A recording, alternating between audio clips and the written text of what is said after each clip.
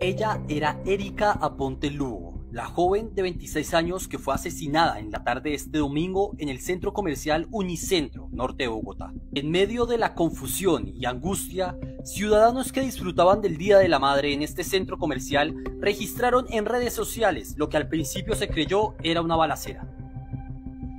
Sin embargo, minutos después y ya con el reporte oficial de las autoridades, se conoció que se trató de un feminicidio e intento de suicidio.